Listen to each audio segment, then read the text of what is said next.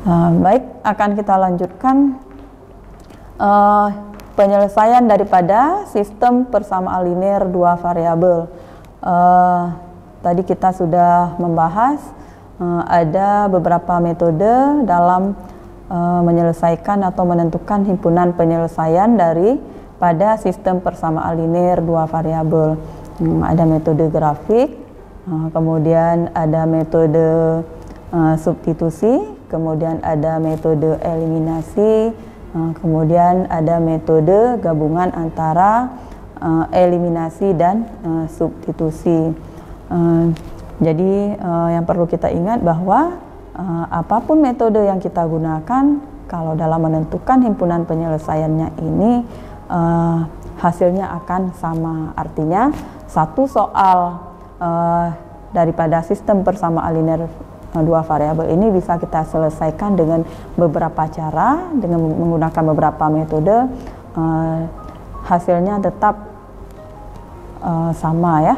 Jadi seperti contoh yang tadi uh, penyelesaian daripada persamaan x tambah 3y sama dengan 15 dan 3x tambah 6y sama dengan 30 uh, baik kita gunakan dengan menggunakan metode uh, grafik metode eliminasi, metode substitusi, ataupun metode gabungan daripada eliminasi dan substitusi uh, akan menghasilkan himpunan penyelesaiannya yang sama yaitu uh, 0,5.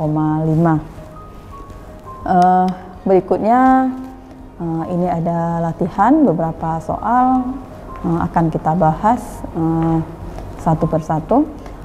Yang pertama, ini soalnya dalam bentuk soal cerita.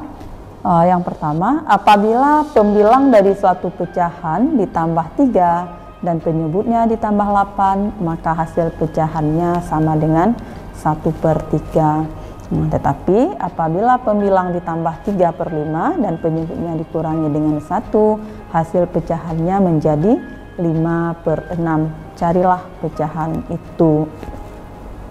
Nah, jadi kita lihat untuk uh, penyelesaian yang pertama, uh, di sini kita perlu uh, membuat permisalan dulu. Uh, di sini yang diketahui pembilang dan uh, pembilang dan penyebut daripada suatu pecahan. Jadi kita umpamakan hmm, apabila pembilang dari suatu pecahan ditambah tiga dan penyebutnya ditambah 8 maka hasil pecahannya sama dengan sepertiga. Kita buat misal pecahan adalah X per Y. Nah, kita tahu bahwa hmm, pembilang itu uh, kita umpamakan dengan X dan penyebut kita umpamakan dengan Y. Jadi kita buat permisalan pecahan adalah X per Y. Uh, kemudian dari soal diketahui bahwa pembilang ditambah 3 dan penyebut ditambah 8 maka hasilnya 1 per 3 nah, jadi langsung saja uh, pembilang tadi kita umpamakan dengan X uh, pembilang ditambah 3 jadi X tambah 3 per uh, Y tambah 8 sama dengan sepertiga nah, jadi bentuk ini uh, bisa kita sederhanakan uh, dalam bentuk uh, umum persamaan linear. Jadi kita ubah dulu. Nah, di sini berlaku perkalian silang. Uh, 3 kali X tambah 3 uh, eh, sama dengan 1 kali Y tambah 8. Nah, jadi diperolehlah uh, 3 kali X, 3X, kemudian 3 kali 3 sama dengan 9. Nah, jadi 3X tambah 9 sama dengan Eh, satu kali Y tambah 8 hmm, sama dengan Y tambah 8 hmm, atau hmm, bisa lagi kita sederhanakan 3Y sama dengan 3X tambah 9 kurang 8 satu jadi Y sama dengan 3X tambah 1 jadi diperolehlah eh, ini bentuk persamaan yang pertama. Untuk persamaan yang kedua kita lihat yang diketahui di soal pembilang ditambah 3 dan penyebut dikurangi dengan 1 maka hasil pecahannya adalah 5 per 6 uh, jadi X tambah 3 per Y kurang 1 sama dengan 5 per 6 uh, Nah, ini juga harus kita sederhanakan dulu. Juga berlaku perkalian silang. 6 X kali X tambah 3, jadi diperoleh 6X tambah 18 sama dengan 5 kali Y kurang 1.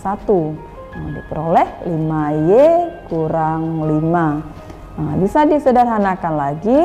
Nah, 5Y sama dengan 6X tambah 18 tambah 5. Jadinya 5Y sama dengan 6X tambah 23. Nah, jadi eh, ini diperoleh persamaan yang kedua.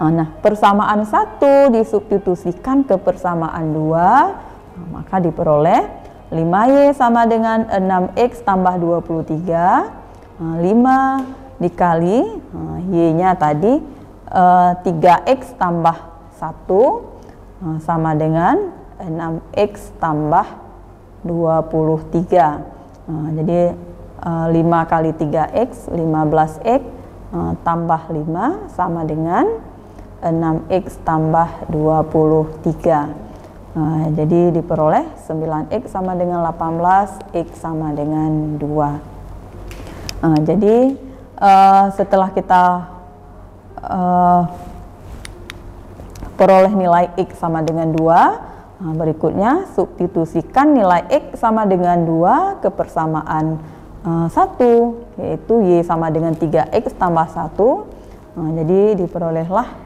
nilai Y sama dengan 3 kali 2 tambah 1 jadi Y sama dengan 7 nah, jadi pecahannya adalah kita tadi sudah membuat permisalan pecahannya X per Y.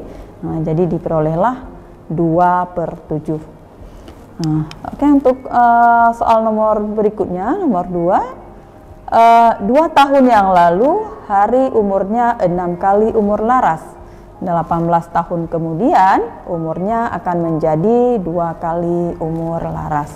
Nah, tentukan umur mereka masing-masing. Nah, di sini kita buat permisalan umur hari sama dengan X dan umur laras sama dengan Y. Jadi persamaan yang pertama, nah, X kurang 2 sama dengan 6 kali Y kurang 2. Jadi diperoleh X kurang 6Y sama dengan min 10. Nah, itu persamaan yang pertama. Nah, kemudian yang persamaan kedua, 18 tahun kemudian berarti X tambah 18 sama dengan 2 kali Y tambah 18. Nah, disederhanakan jadilah nah, X kurang 2Y sama dengan 18. Nah, ini uh, persamaan yang kedua. Nah, jadi dari persamaan satu dan persamaan dua langsung kita eliminasikan uh, kita eliminasikan nilai X untuk kita peroleh nilai Y. Nah, karena tandanya sama langsung bisa kita kurangkan. Nah, jadi diperoleh min 6Y uh, eh, kurang min 2Y sama dengan min 4Y min 10 kurang 18 sama dengan min 28 jadi diperoleh nilai Y sama dengan min 28 bagi min 4 Y sama dengan 7 nah, kemudian berikutnya substitusikan nilai Y sama dengan 7 ke persamaan X kurang 6Y sama dengan min 10 nah, sehingga diperoleh X kurang 6 kali 7 nah, sama dengan min 10 nah, jadi X kurang 42 sama dengan min 10 X sama dengan min 10 tambah 42 nah, jadi X sama dengan 32 Nah, jadi ini soalnya mengenai umur. Uh, tadi kita sudah membuat permisalan bahwa umur hari itu sebagai X dan umur laras sebagai Y. Uh, jadi uh, bisa kita simpulkan bahwa uh, umur hari 32 tahun uh, dan umur laras adalah uh, 7 tahun.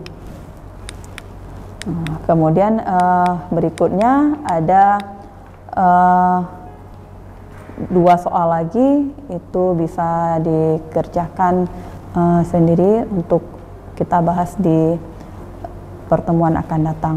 Uh, baik, uh, untuk pertemuan kali ini sudah cukup.